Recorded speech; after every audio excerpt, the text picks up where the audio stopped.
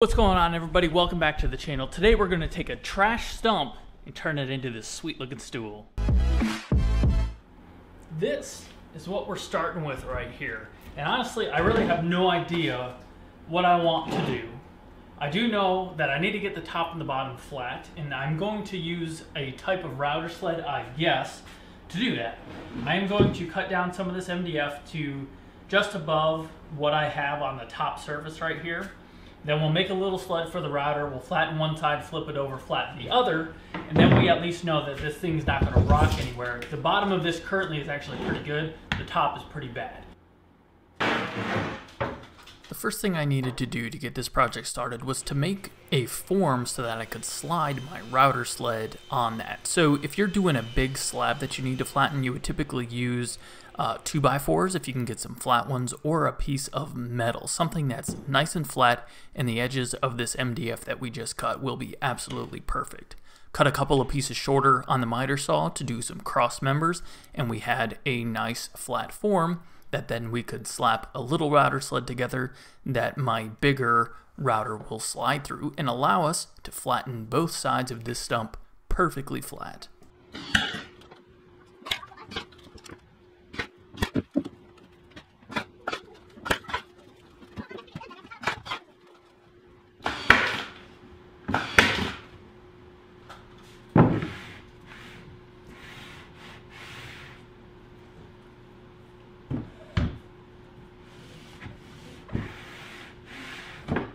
We obviously are going to be using a pretty large diameter router flattening bit and you want to make sure you have a pretty decent quality one because you don't want it flinging a blade or chipping a blade off and throwing it at you. And this Amana one that I've been using, highly recommended. I've put this through a lot of material with great, great success. It's obviously pretty important to make sure the stump or anything you're flattening doesn't rock around while you are working on that workpiece. So I used some composite shims to make sure the stump didn't rock around and then we're ready to flatten the first side. It is a disastrously messy job to do this kind of router flattening, so be sure to spend plenty of time afterwards cleaning yourself up and your shop space around you. As you can see, pretty straightforward with the frame that we have built around the stump, where we are able to slide the router around and just shave off that top portion perfectly flat. If you have to use multiple passes, it's no big deal. I think I did pretty much two passes on each side so that I wasn't taking away too much material at one time because I didn't actually have the stump fastened down. I just had it sitting there with gravity and then the shims held it flat. Once we had the top flat, we're able to flip that over remove the shims, and that flat portion we just flattened is sitting on the table. So then we can flatten the opposite side, and we got our two sides perfectly parallel to one another, and a stump that will not rock around. Same concept can go for flattening a big slab if that is something that you need to do. The plan is to put a DIY cookie top on the top of this, which is going to be the seat of the stool. And we need something that is strong that we can fasten that to. So I used a chisel to chip away a couple of portions on the stump to make it flat. And then I used some construction adhesive to bond a chunk of, it's a harder wood, I think it was hickory, into place. Now, why did I use construction adhesive? Because as you can see, there are lots of big pores or gaps inside that stump, and the construction adhesive will actually fill the gap and allow a good bond. Whereas if you were to use a wood glue, it wouldn't fill the gap, so you would have lots of air gaps in there, and the wood glue would probably fail over time. As you can clearly see, there's a giant hole that I am marking out a piece of cardboard right here. I'm going to cut that down to a rough matching dimension and then use a hot glue gun to fasten that cardboard in place so that we can pour the foam in here and it's not just going to come pouring out of that giant hole. Now, you'll see later on I thought I got all the holes, but keep watching. You'll see if I actually got them. I really think that hot glue guns are a very underrated tool. Every time I whip that thing out, it is very, very useful, and I wish I would take it out even more often because I often forget about it, but good bond and it's very quick. Now, now you probably agree with me, it's a great idea to cover all of our hard work so far up because it could be a disaster pouring this foam. I should probably put some gloves on. Ooh, this could be so bad. Now, I would be lying if I said I wasn't a little bit nervous to do this. It could be disastrously messy, and we only get one shot at this, and the whole thing could potentially be ruined. So I was definitely a little bit nervous, and it was a little bit cold based on the instructions to do this, so I didn't know what was going to happen. Oh, this doesn't look like a good idea. Looks like it's staying in. Oh yeah, uh-oh. Here it goes. As this foam started to react and it quickly started bubbling up, I thought we were screwed. But honestly, a little bit anticlimactic. Big leak over here. Uh-oh. So I did what I could to scrape up the foam that was leaking out of this gaping hole in the side that we obviously missed, but in the end, the chemical reaction must have slowed it down enough that not too much came out. My mic wasn't on a second ago when I pulled the plastic off, but in general, everything worked out quite well. We had one little blowout right here, which honestly, that was a hole I just missed. We'll see if we can, we should be able to clean that out right there and get it back to looking like it was just the bark using a wire brush first to make sure that any pieces of bark that might be loose get broken off of this thing because I don't want a bunch of debris in my epoxy once we are going to be painting it onto this stump. Then a quick rub over with the shop vac brush just to make sure all the dust is out of there as well. Then it is time to mix up a little bit of epoxy. A little bit goes a long way. I don't really know how much I had in there, but I am using some old West System stuff I had, and I'm pretty sure the hardener is not supposed to look amber, but we were already into this project and I figured a little bit of amber tint on the bark wouldn't even be noticeable once everything's set up. Then I just used a cheap chip brush, which you do need to keep an eye out with these that you don't get any bristles pulled out and stuck in your material. That goes for paint or epoxy. And we just brushed it on. Nothing too exciting.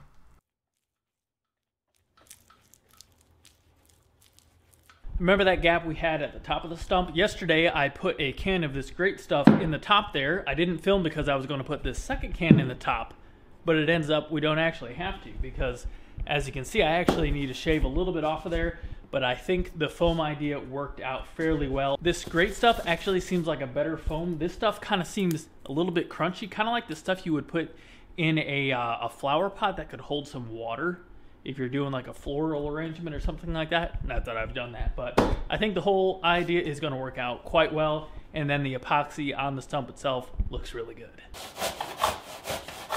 Once I had cut the top off of this chunk of foam, I actually noticed the inside wasn't completely set up yet, which probably makes sense on the bottle why it says a maximum of 3 inches. It probably would have set up if I followed the instructions. What's the fun in doing that?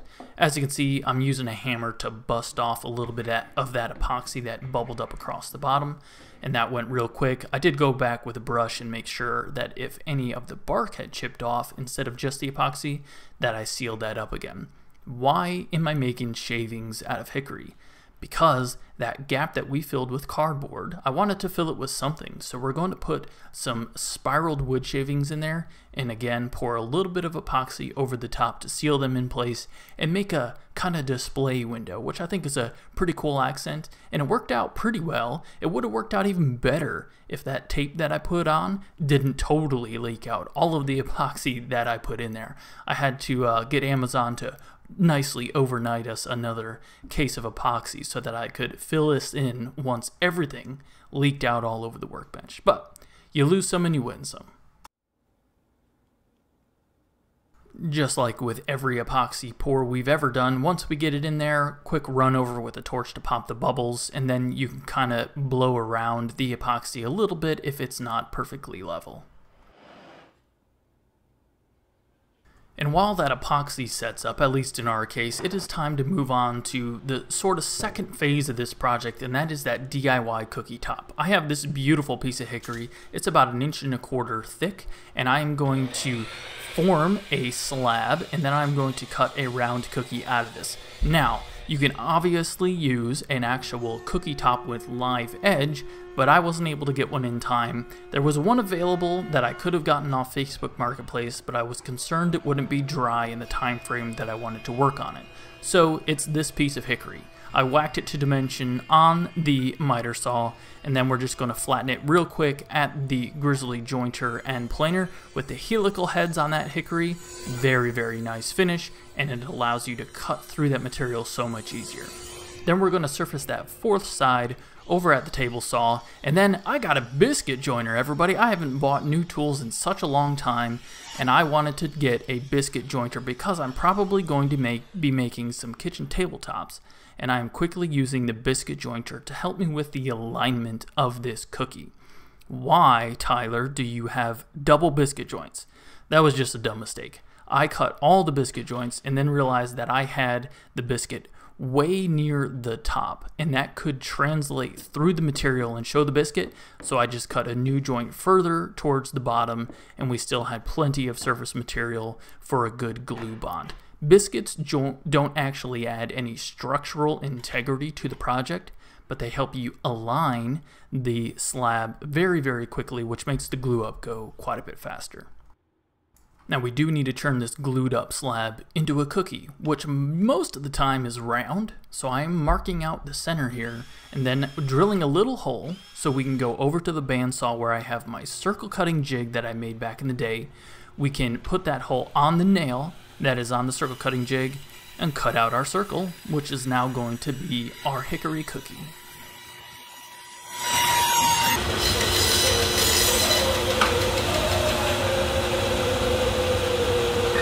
Once that cookie is cut out, I would typically go right over to the router, but we had a very rough edge from the bandsaw along the outer ring, so I just decided to do majority of the sanding beforehand. And I gotta tell you, Sand and Hickory, even with this fantastic Mirka sander and its 6 inch disc, it sucks Sand Hickory. It is so hard, it takes such a long time to get anything accomplished. But in the end, nice and smooth, all the way up to 220 grit. And now we are ready to move over to the routers. So this is my double trim router table that I made not too long ago, and I am using a 45 degree chamfer bit on this router and we are going to chamfer the bottom 45 degrees. In the top, we are going to put a roundover in there.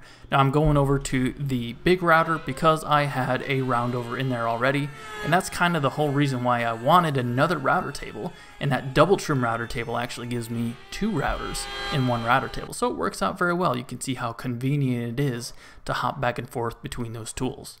I did have one little accent point in here, this knot that was in the top of the cookie, and I wanted this to be there because I wanted to put some epoxy in there, sand it down so that we had a nice little focal point on top of the stool. Now it is time to get some finish on this stool top and I'm going to go with my tried and true favorite finish of General Finishes Sanding Sealer and General Finishes Enduro Clear Polyurethane spraying the sanding sealer, which is a thicker material with a 1.3 millimeter tip. And then we will go through and do three coats of the top coat with about an hour, hour and 20 minutes between coats and a little bit of sanding. We're going to spray that top coat with a one millimeter tip. And I do got to say, this finish, I've got this thing dialed. It comes out so nice, as you can see in just a second here. When that cures and levels out, it'll be perfectly smooth. Looks great. Now the time has come to attach the top to the stump base. What I would have liked to have done is drilled some holes, use some screws, and then plug that. But for the life of me, I cannot find my plug cutter. What I'm going to do as an alternative is use these very nice looking TENS stainless steel screws. Now TENS is the brand that makes deckmate screws that we probably have all used from the home center. You can't get these TENS stainless steel here in the United States, but I have a deal coming up with them, so I have some of these in hand and I'm going to use them and just leave the heads exposed, kind of an industrial look. So these little doohickeys are, are typically used to transfer dowel hole locations, but I'm setting them on top of those blocks that we construction adhesived into place, making sure our cookie was symmetrical on that bench, and then banging it down so I know where to drill the holes. I'm going from bottom to top here with a thinner bit, a small bit so we don't have, have any blowout on the opposite side, and then flipping that over and drilling a larger hole top to bottom. Again, that's just so we don't splinter anything out on the top. Making sure our orientation is good, and then we do need to countersink for these tens screws.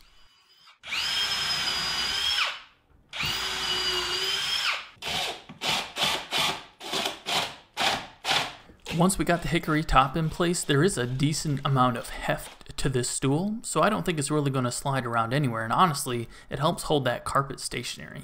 I think it looked out pretty good. Nice conversation piece right in our living room. Well, that is a wrap on the stool right there. It actually turned out pretty cool, and I had a really hard time getting all of the footage that I ended up taking for this video down to something short. So I hope you guys enjoyed that video.